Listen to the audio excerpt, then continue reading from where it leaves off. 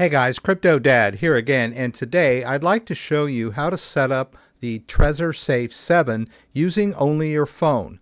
This is the very first Trezor device that has ever had Bluetooth capabilities, allowing you to manage your crypto with just your phone. You don't ever have to connect it to a computer at all. You can do it completely from your phone. All right, so uh, before we get started uh, with the device, you'll want to go over to your App Store or Google Play Store and download the latest version of Trezor Suite. That's the icon there. All right, and this is what Trezor Suite is going to look like when you first launch it on your phone. All right, so we want to get our device. Now, uh, I did a full unboxing, and I'll refer you to that if you want to look at everything that comes in the box. You do get a USB cable, and you can use that to charge up your device. But you don't need the device connected to anything to do the setup with the phone. You do want to make sure you've got it charged up sufficiently, though. All right, so we'll go ahead and turn on the device by hitting the button on the side here. And uh, basically what we want to do, see there's no pin yet because it's in factory condition. All right, so I reset my device and I remember when I first turned it on, there was a QR code that would uh, I could scan and go to the App Store to download Trezor Suite. I don't see that, but you might. And uh, once you've done that, you can dismiss that message and you'll get to this screen. You can tap down here and it'll take you to these settings. You want to go to pair and connect and you want to pair a new device. Right, it's going to tell you what the name of your device is and then you'll go over to your phone and choose get started. You can turn off this app uh, data sharing if you want to. I'm going to go ahead and enable the Face ID on mine. You can skip this if you want to. All right, and uh, I'll confirm my location as the US. And now the important part, we get to connect. So we'll just tap connect. We'll allow Bluetooth. All right, and it's going to look for your device. You might need to wake it up. All right, and there we go. So it tells you the name of the device that it's found, and you'll confirm that it's a match and hit connect. All right, and then it's going to do the Bluetooth pairing. So uh, just make sure these numbers match. You'll hit pair on your phone and on your device. All right, it's going to ask you to confirm the connection, and so you'll tap confirm, and then you'll enter the security code on your phone. Now it recognizes that I've already updated my firmware uh, because I did have this device set up before on my uh, computer uh, but you probably won't see this message. Um, but it thinks it's warning me that it's already been used. I know it has been used, so that's fine. I'll choose Get Started, and then it wants me to allow the connection. It's doing the genuine check, a cryptographic verification that the device is genuine and has not been tampered with. We'll hit Continue. And I'll skip the tutorial. All right, now we're going to create a new wallet. So we'll choose Get Started here. Uh, you can also restore at this point too. If you want to do a restore from backup phrase with a brand new device, you can do that as well, just from your phone. So you want to get your uh, backup word uh, card that has the uh, numbers of the words. You can also do this on a piece of paper if you want to. Just make sure to number the words and write them on your card in order. The order is very important. And then uh, you'll just use this little down arrow to go through these screens. If your device gets lost, stolen, or damaged, the backup card will uh, allow you to restore all of the wallets you had on the previous device. All right, they give you some more information here.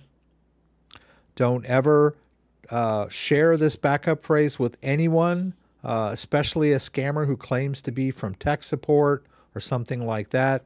Uh, that's all a scam. No one will ever ask you for this, even someone from Trezor if you're asking for technical support. And don't take a picture of it because personal cloud accounts can get hacked and there's a lot of malicious software out there that scans cloud accounts for backup phrases. So please don't take a picture of this with your phone. Uh, you can make extra copies, but just do them by hand. All right, I'm going to use single share backup. You'll see that uh, there are other types of backups. There's multi-share and there's also legacy options, 12 and 24 word backup. But today I'm just going to stick with single share backup, the 20 word backup that's based on the SLIP 39 protocol. I'll hit continue and we'll just go down here again. We'll get our pen and paper ready and then we'll hold to start. All right, and then it wants us to continue on the device.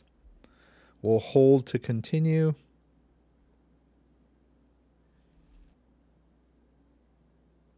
All right, so it created the wallet. It's generated a random master private key, and now it's going to give you the backup words uh, that you can write down in case the device ever gets lost, stolen, or damaged. So we'll hit continue here, continue again. And most of this stuff I covered. So now it's going to show you the words. So as I mentioned, make sure you write them in order. Uh, the number of the word is up in the top left corner. Just make sure you've got them written down in the corresponding slot on your card. Uh, and you can use the up and down arrows here to advance through the words. All right, and then after you've entered all the words, it's going to ask you to confirm that. So hold to confirm. And then it's going to do a quick check. It's going to show you uh, three words. You'll choose the correct word. It's asking me for word number one, so I just look over at my card and tap word number one.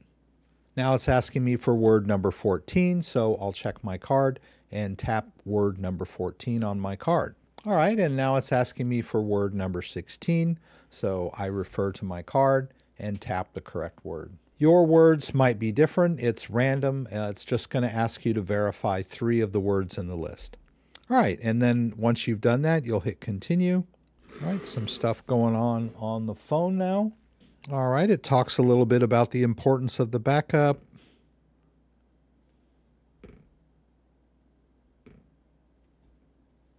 and then hold to continue. All right, and now we want to set the pin on our device. I would recommend an 8-digit pin. It's the most secure. You can go longer or shorter, um, but don't make it too complicated or it'll be too difficult for you to remember or conveniently use the device. So try to find a good balance between security and usability. It'll ask you to confirm that pin. All right, and then after the pin is set up, you can close this. And now you'll want to enable the coins that you want to manage. I'll just enable some of the uh, top coins here. It's entirely up to you which coins you want to manage. You may just want to manage Bitcoin only. That's up to you. I'll confirm here. All right, so I've completed the setup, um, synced up the device. You can see up here that it says connected. And uh, so now I want to show you how to fund the wallet and how to withdraw from the wallet. Those are your uh, top two operations that you need to get down. Now you can use Trezor Suite to make purchases. Uh, if you go over here to trade, you can put in an amount and a cryptocurrency. In order to use this, you will have to sign up for third-party providers. Uh, they use Topper here, but you can choose from other ones. And you will need to verify your identity and sign up for an account in order to do this. So I'm just going to show you how to make a deposit from crypto from a trusted exchange like Coinbase or Kraken, uh, Binance or Binance US, something like that. I think it's very important to understand the mechanics of transferring crypto back and forth between your wallet and an exchange. So that's how I'm going to show you how to make a deposit. All right, so in order to make a straight deposit, let's go back to the home area and we'll choose our cryptocurrency that we want to deposit. Uh, notice that each of these cryptos has its own account. You can consider them separate wallets. They're all based on the master private key of the device.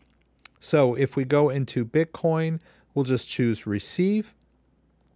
It's going to show us the full address when we verify on the device. So in order to do that, we'll tap show full address. and you should see the address on your device. You'll just verify that it's the same address you see on your phone screen. You'll hit confirm, and then it shows you the address to make your deposit. So from here, I'll just copy it into my clipboard. I'll go over to one of my crypto exchanges. I'll use Kraken. So I have some Bitcoin. If I go to my portfolio, you can see I have some Bitcoin in my Kraken account. So I'll just tap on that Bitcoin and I'll say I want to make a withdrawal on the Bitcoin network. And I've never used this uh, wallet before, so it's a brand new address. I need to add it to my whitelist in Kraken. I'll hit Add Withdrawal Address, and then I'll paste in that address that we copied over from our Trezor suite. I'll give this one a name. All right, and then I'll just tap Add Withdrawal Address and then I'll need to confirm that in my email. All right, so we'll just go check our email and then hit confirm address. All right, and once that's done, I can go back to the app and send that Bitcoin. Now, I just had a small test amount in there. If you're sending large amounts, be sure and do small test transactions first. Always best practice.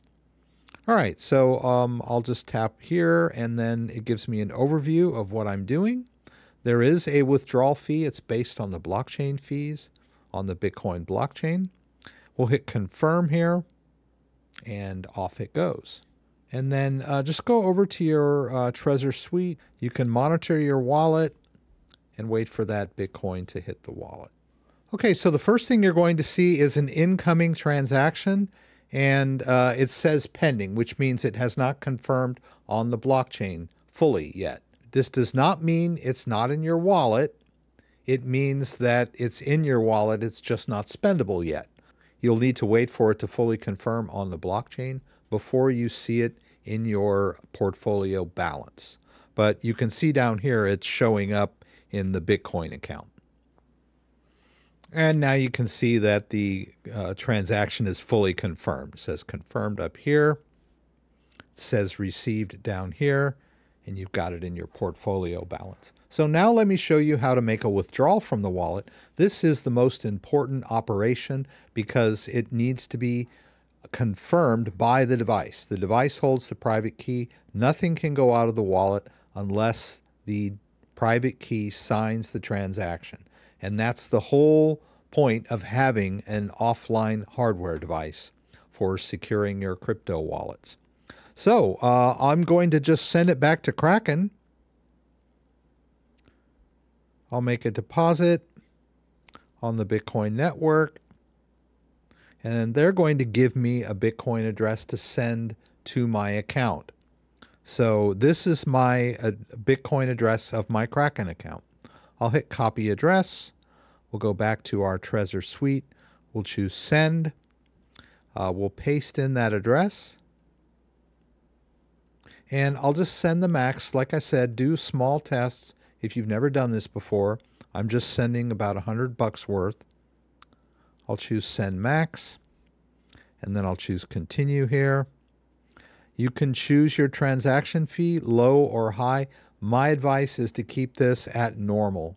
Trying to go low could make your transaction uh, last a really long time, and that's pretty nerve wracking. Uh, going high doesn't really speed it up that much, so it's not really worth the extra fee. Uh, so I like to keep mine at normal. We'll hit review and sign, and then we'll choose next here. We're going to be confirming on our device. All right, uh, the device was asleep, so it's asking me to enter the PIN. This might happen to you. All right, so uh, I entered my PIN, and now it's showing me the receiving address. I can confirm this in Kraken if I want to. Just make sure that these addresses match. I'll hit continue on the device. It shows me the amount of Bitcoin I'm sending. Then it shows me the blockchain fees that I will incur. This is the Bitcoin blockchain um, fees. This is not Trezor or any third party. We'll hold to sign. We'll just hit this and let it uh, confirm. Now it says that it's signing the transaction and the transaction has been signed. And now I'll broadcast it from Trezor Suite by hitting send transaction. And out it goes. Now you can see I have a pending outgoing transaction. And then uh, after a few minutes, it'll show me that it's been completely sent. And then it'll end up back on in my Kraken account. So that's it. Uh, that's uh, setting up the wallet using only your phone. I did a test receive and a test send. Those are the basics. If you have any questions about anything I said, please throw them up in the comments and I'll do my best to get them answered.